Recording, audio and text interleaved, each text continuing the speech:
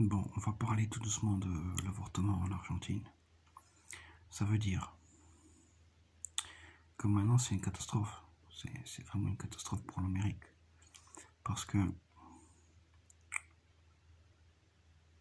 il faut pas regarder ça du point de vue la libération de la femme. Ça c'est de la connerie. C'est un mouvement politique. En fait, regarde, Diego il est mort. Donc, toute l'Argentine, il croyait que Don Diego. T'imagines ils veulent, ils veulent utiliser la mort de Diego pour tuer toute l'ancienne Argentine. Donc maintenant, justement, pour, pour, utiliser ce... C'est tombé exactement à ce moment. T'as vu, ça a été calculé. Hein. Ça veut dire que maintenant, avec le contrôle des naissances, comme ça, ben, les générations elles vont se resserrer, il y aura moins de, moins de naissances argentines. Beaucoup moins. Petit à petit, petit à petit, petit à petit. Ça veut dire quoi? Ça veut dire qu'il y aura moins d'Argentins eux-mêmes qui vont travailler dans les champs, dans les vignes, dans les usines, dans... Uh-huh. Il manquera des gens pour travailler avec le temps. Donc l'Argentine va être un pays qui va créer non plus n'est plus un pays de d'immigrés. Et ça, ça change tout le statut du pays. C'est grave. C'est considéré que l'Argentine maintenant est un vieux pays. C'est un petit peu comme l'Europe, regarde. Ça correspond pareil. Le moment où ils ont commencé à dire le vieux continent. Le vieux continent. Quand ils ont commencé à faire ce système d'avortement, ça. Parce qu'avant, l'Europe, c'était pas un vieux continent. Tu vois? C'était pas. C'est pour ça qu'en effet, que si l'Église catholique, c'est eux, cela serait terrible. Si c'est eux qui ont emplacé ce mouvement politique, là, c'est terrible. C'est terrible. Euh, regarde une autre chose, regarde. Tout ce que ça va apporter de négatif, l'avortement, le dumping social, les inégalités entre riches et pauvres, des classes sociales. Hein, euh,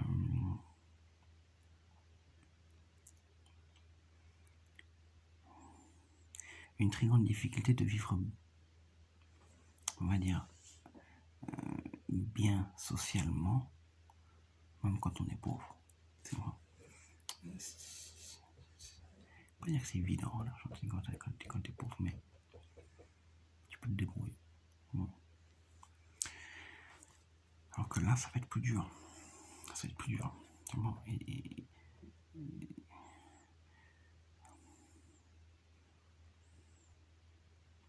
ça va amener les assurances. Tu vois, le truc de. Truc de des trucs dont on n'a pas besoin. Bon. Ça va emmener. Euh, système de pension qui vont, qui, vont abuser des personnes. Ça va être plus abusif encore. Ça va emmener le système publicitaire. Ça va emmener euh, justement la destruction du, socialisme dans l'idée. C'était un côté qu'on aimait bien avec l'Argentine.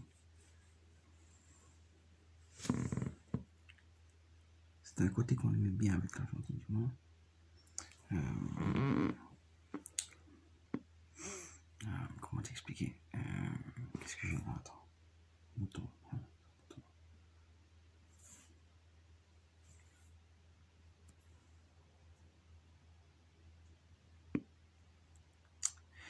C'est un côté qu'on aimait bien, tu vois, avec l'Argentine. Un truc. un truc simple, tu vois. Que les gens pouvaient rester simple, tu vois, simple, euh, humble, tu vois. Et maintenant, ça, ça va changer. Ça tourne pas dans le sens que Alexis il dit. Hmm. ça va tourner dans l'autre sens. Ça va tourner dans le sens politique à l'européenne. Avec euh,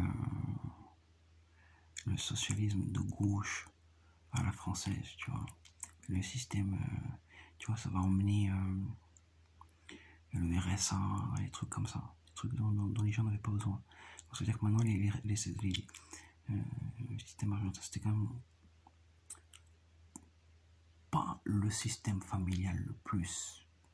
Tu comprends? Mais les Argentins, ils sont solidaires entre eux d'habitude. Très. Mais ça, ça va emmener maintenant dit que c'est l'État qui va prendre en charge les personnes. Donc, euh, attends-toi maintenant, dans, les prochaines années, euh, à ça, quoi. Et c'est plus intéressant. Ça veut dire que ça, au lieu d'avoir différents groupes, différentes factions, je ne sais pas exactement comment tout fonctionne hum, qui puissent te donner ta chance, ou des indépendants, des groupes, des business ou quoi qui peuvent te donner ta chance. Maintenant, il va y avoir plus encore le contrôle de l'État. Et il va même y avoir des persécutions. Des persécutions. La persécution à la française, tu vois. Ça veut pas dire persécution visible. Pas le racisme visible, genre, euh, je t'aime pas, t'es arabe, je t'aime pas, t'es. t'es. je sais pas, t'es pas de chez moi, tu vois. Pas ça. Tu vas avoir cette. Euh, déshumanisation, en fait. C'est ces persécutions plus. Euh, invisibles par derrière. Par des groupes que tu vois pas justement. Et ça, c'est ce qu'on appelle très souvent en Ukraine la légalisation de la corruption. L'officiel, pas euh, l'officialisation, l'officialisation de la corruption légalisée. L'officialisation de la corruption légalisée. Et ça, ça va arriver. La, la pharmaceutique qui va rentrer dans le jeu. Tous ces trucs. Tous ces trucs. Moi, je voulais en parler, c'est important. Hein. Euh, L'Argentine, c'est pas un endroit où maintenant, moi, je vais aller. Tous ces changements, tu as vu tous ces changements techniques dans les pays, c'est le bordel total. C'est le bordel. C'est le gros bordel. Je sais pas ce que c'est.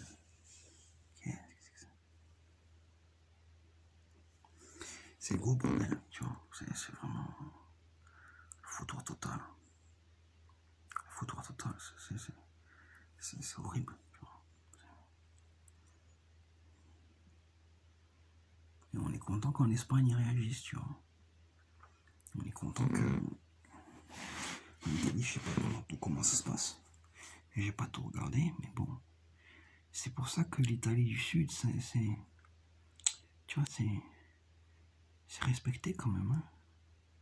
C'est dur, mais c'est dur parfois, tu vois, certains endroits.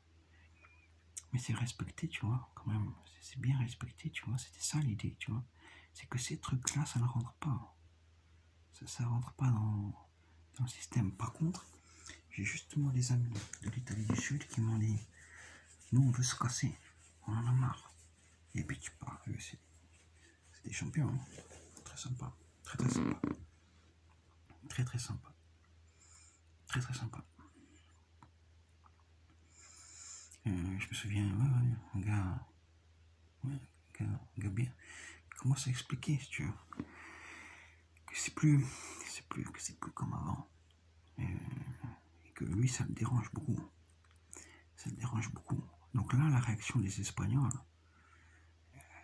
elle est bonne, quoi. Elle est bonne. Elle finalement, si on prend euh, le travail d'Alexis dans le bon sens, il a tout à fait raison. Tu peux même pas imaginer ce que je suis allé dire aux Russes et aux Ukrainiens. Aux Ukrainiens aussi. Aux Ukrainiens aussi. C'est personnel. C'est personnel. Là, c'était pas politique. Là, c'est personnel. Là, c'est. Moi, je supporte plus les femmes. Les femmes. En fait, on se retrouve dans d'autres trucs. On se retrouve dans, dans des idées. J'aime bien ça on se retrouve dans... Comment t'expliquer?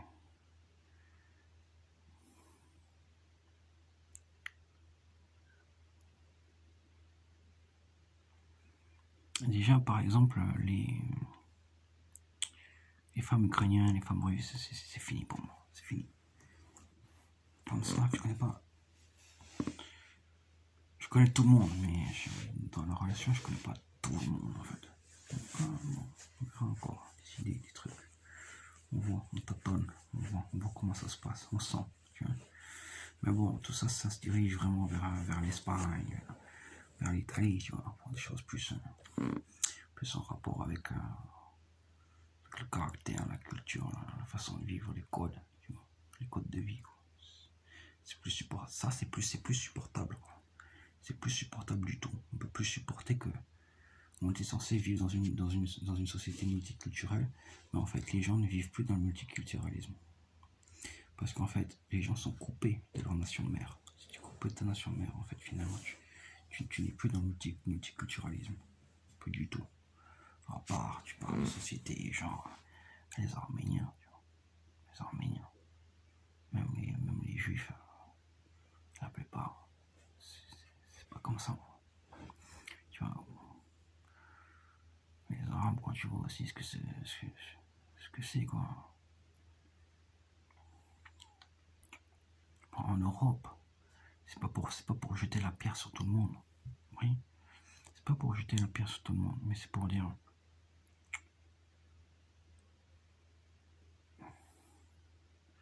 ils sont, ils, sont coupés du monde premier, tu vois. De leur monde, de leur monde à chacun, premier. Euh, et ça c'est dur. Ça c'est dur. Donc en fait c'est des moitiés culture c'est pas, pas, pas, les, les, les, immigrés qui sont ici, c'est des moitiés culture. C'est pas des. C'est des mi-hommes. C'est des mi quelque chose. Des mi, des moitiés. Ça, c'est pas bon. On veut revenir, à, si on n'a pas beaucoup, on veut revenir à l'idée qu'on est une personne complète par rapport à sa façon de vivre, tu vois. Et ça, ça m'intéresse. Moi, par exemple, partir en Argentine, si ça avait été l'avortement, il n'y a pas. Là, je suis moi-même à 100%. Ouais, je pense à 90% peut-être. quelque chose comme ça. 90%, je pense. Quelque chose comme ça. Ouais, ouais ou plus peut-être. C'est possible, ouais. Possible. 100%. C'est possible. Ouais. Je pense. J'étudie la question. Mais. Euh, on n'y va pas.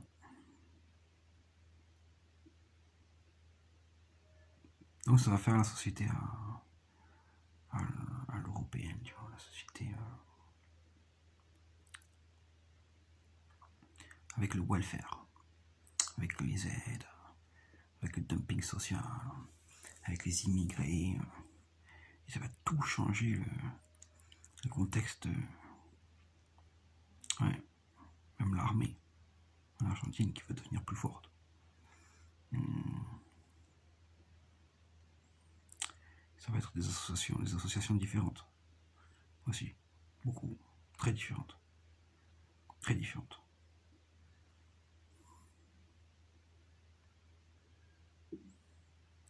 Des des associations sociaux, qui, qui peuvent pas qui peuvent pas se libérer en fait. Il n'y a déjà pas beaucoup d'ascenseur social, je pense, en Argentine.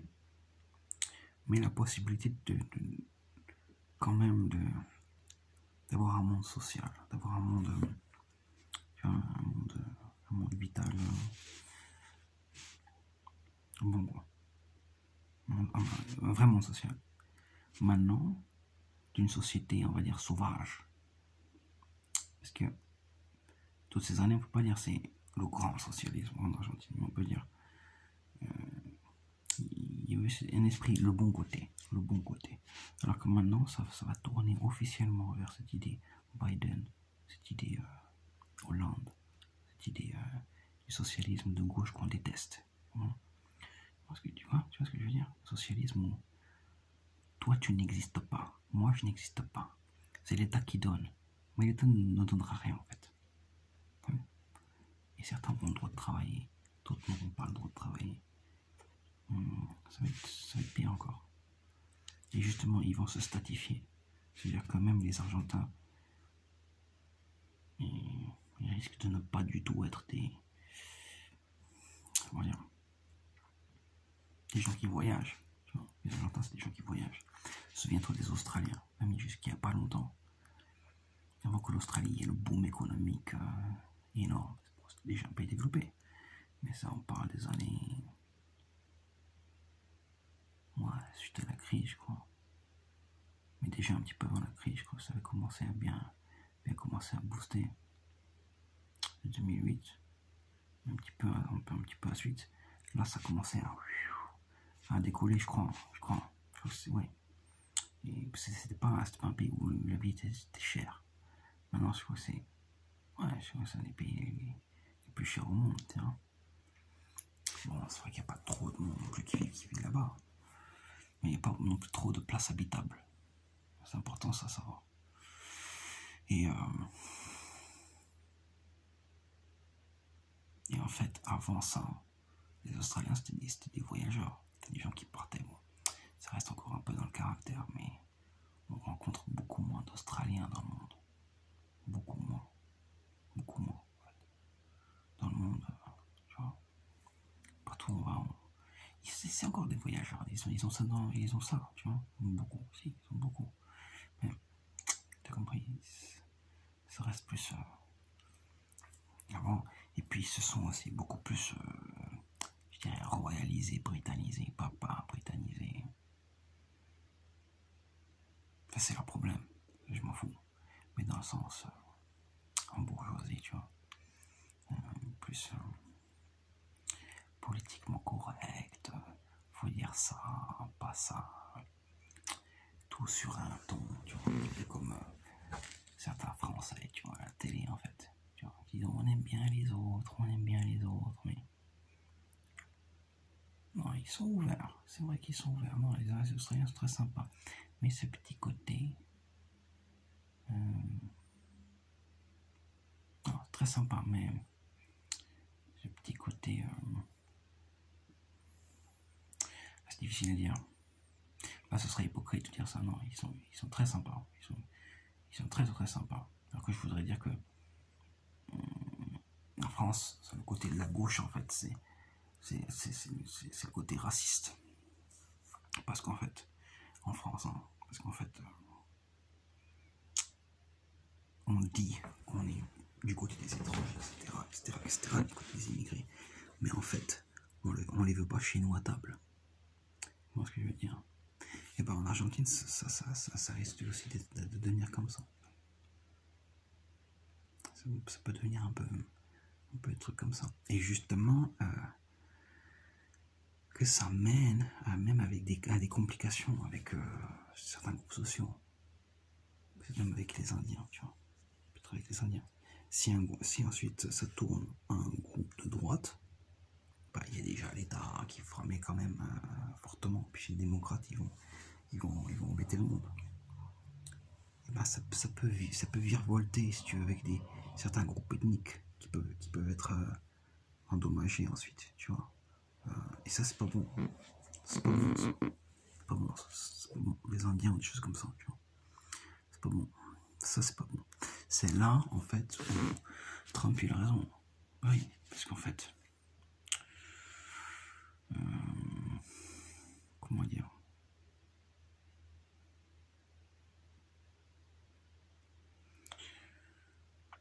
Pas que En fait, ils disent, mais il faut comprendre ce qu'ils disent. Même s'ils croient à ce qu'ils disent, peut-être certains, il faut le contraire de ce qu'ils disent. Et ça, ça, ça c'est, terrible. Ça, c'est terrible. Par exemple, on vit ici en Angleterre. Oui. il y a le House of Commons. Oui, il y a des trucs comme ça. Oui, il y a les aides et tout ça. on s'en fout de toi. On s'en fout. Qui tu es, toi? Oui. Et il y a des gens, ils ont des problèmes de santé, etc. Ça peut mettre des mois finalement pour, pour, qu'ils se fassent traiter. On se dit que vous êtes traité euh, tout de suite, monsieur, mais en fait non. En fait non, ça peut mettre des mois. Ça peut mettre des mois. Ça peut même, être fait exprès. La persécution existe. La persécution existe. Et ça va mener à ça. Alors que dans un contexte où les gens sont un moment, quelque chose, des groupes, là ils se consolident, là ils se consolident, et là. Et là c'est bien, même si, même si c'est si la droite qui est au pouvoir. Même si c'est la, droite qui est au pouvoir. Ça c'est bien. Tiens. Même si c'est le capitalisme qui est au pouvoir, les, groupes peuvent se, solidifier. C'est important. Et donc on risque de voir cette, perte-là. Et justement, séparation des sexes. Euh,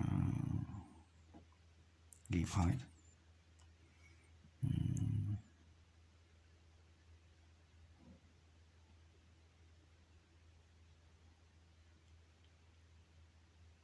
et tout ce qu'on connaît en Europe en fait. Les femmes qui font des enfants beaucoup plus tard. L'homme, hein, il faut qu'il attende quel âge avant d'avoir des enfants Si elle a fait des enfants beaucoup plus tard.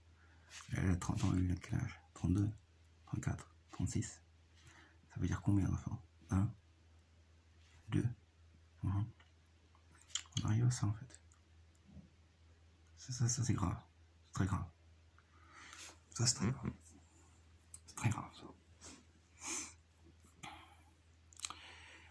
Euh, donc, euh, oui, on arrive finalement à euh, la solution, la meilleure solution dans laquelle on vit, c'est au lieu de s'embêter avec des promesses de mariage, on t'imagine aussi le mariage, ce que ça va devenir. Tu veux, tu veux divorcer, a toute une complication, enfin un truc de fou, quoi. Un truc de fou, quoi.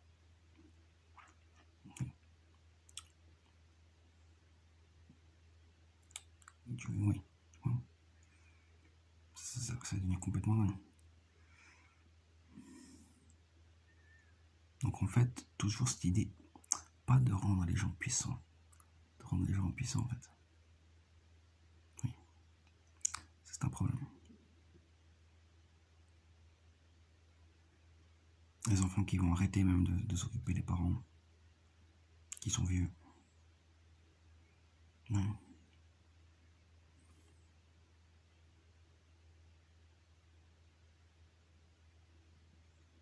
Des, situations de précar- précarité qui sont pires moralement. Parce que t'imagines, la précarité en, en Argentine, ça peut exister.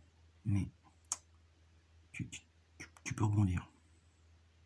Tu peux rebondir. Tu peux rebondir. De toute façon, émotionnellement, tu, peux rebondir. hein. Tu peux rebondir. Quand on dit la cache, c'est pas comme on dit la rue en France. Ou la rue en Angleterre. Oui. Quand on dit la rue en France, ça veut dire euh, cochard. Quand on dit la rue en Angleterre, on, parle du contrôle des rues. En fait, il n'y a personne dans les rues en Angleterre. Des caméras, des gens dans des voitures qui regardent. Oui. C'est pas quelqu'un qui marche dans la rue. Quand on arrive en Argentine, il y a ça. La rue, c'est autre chose. La cache, tu vois. La rue apporte beaucoup. Tu vois, ça, ça, ça c'est un contexte culturel qui peut se perdre, un esprit qui se perd. C'est- problématique.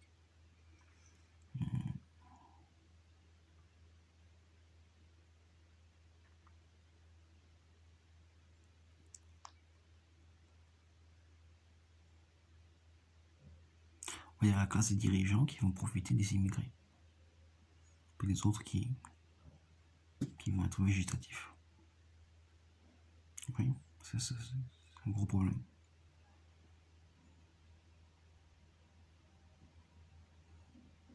C'est un gros problème, pire encore, sur le continent américain. Parce que là, si on fait ça, l'Argentine,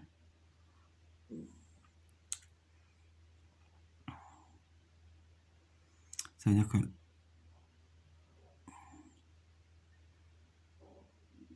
l'Amérique n'est plus l'Amérique. L'Amérique se prend déjà pour un vieux continent. C'est grave, parce que dans le, dans le sens étymologique du mot Amérique, c'est pas du tout ce que ça veut dire. Amérique, ça veut dire sans culture. Ça veut dire qu'il n'y a rien. On crée tout. C'était logique qu'il n'y ait pas d'avortement. Légal. C'était logique. C'était ça le don thoraïque qu'on donnait à, ces- gens. C'était ça la force qu'on leur donnait, spirituelle. La force mentale. Et là, avec ce, ce contrebalancement, ça, ça, fait compliqué. Et l'Argentine, même par rapport aux États-Unis, ça, peut devenir une super force. Hmm. C'est compliqué, c'est très compliqué.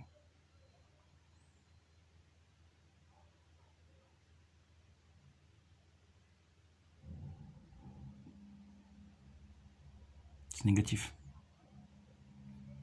Le, Chili est beaucoup plus appréciable en fait. Beaucoup plus appréciable. Dans ses coutumes, beaucoup plus appréciable finalement. On pouvait pas s'y attendre à des résultats pareils. Surtout suite à la mort de Diego. Ils ont bien, bien, bien, calculé ça. Et maintenant, on remonte la piste et on essaye de trouver qui est derrière ça. Biden, Biden. Possible. Oui. C'est logique qu'on dise ça, mais. Le pape, ouais. Un grand remplacement. C'est logique. C'est pas, c'est pas, c'est pas la chrétienté, ça. C'est pas, c'est pas, c'est pas la religion, c'est pas c'est pas comment dire c'est pas c'est pas la famille ça ça c'est grave très très grave